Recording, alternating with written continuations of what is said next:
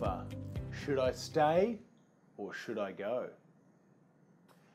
Right, you've had some interviews with another company, they've gone well, they've presented an offer, you've signed it, you've agreed a start date, and you've handed in your resignation.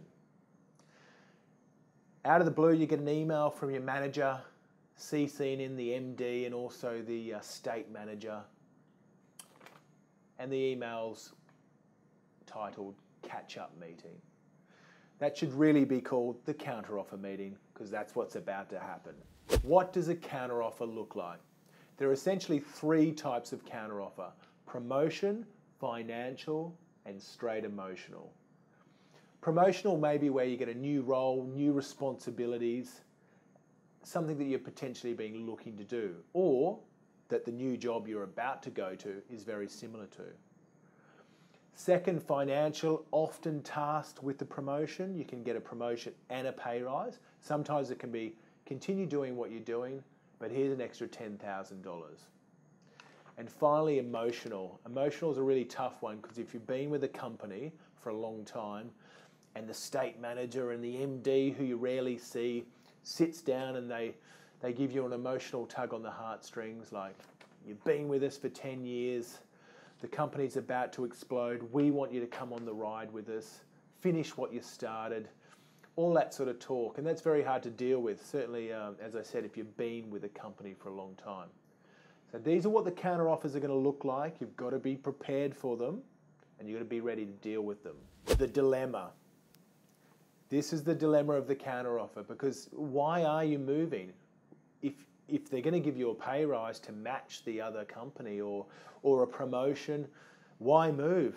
I mean, if you like the people you work with, it was mainly a, you know you felt like there was a bit of a glass ceiling.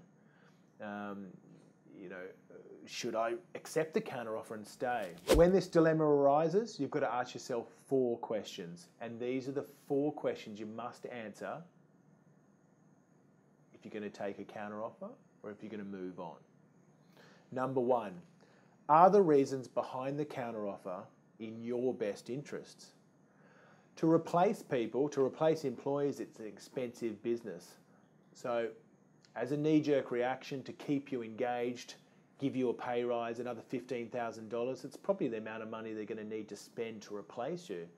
Um, and, and the intangibles and the opportunity cost that's lost. So, are they doing that just to save their own skin, or do they genuinely want to bring you up to potentially what is a market salary or the right salary for your role? Number two, the trust has been broken.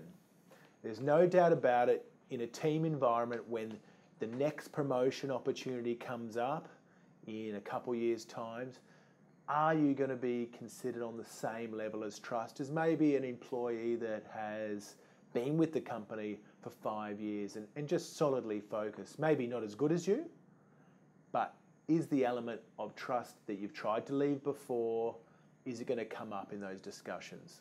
The third question, would you have received a pay rise or promotion if you hadn't threatened to leave?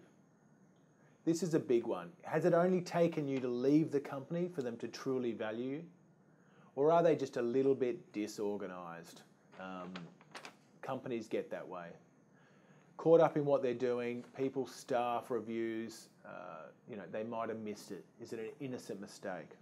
And number four, why did you start looking in the first place? What were the real reasons? Was it actually financial? Was it you know, the opportunity to experience a new environment. You know, people do get stale in companies. You've got to ask yourself that really, what was the primary reason why you're looking to move? And by staying, is that going to change at all? If it's not going to change, there's no point sticking around, you know, listening to those emotional heartstrings that they pull on. Make a clean tie and move on. Because you're likely going to move on anyway in the next six to 12 months. I think some stat says that 39% of all people that accept a counter offer, within 12 months they're gone anyway. A counter offer is, is always tempting. It's flattering, but you've got to ask yourself these four questions and really take it on board. Good luck, job seekers.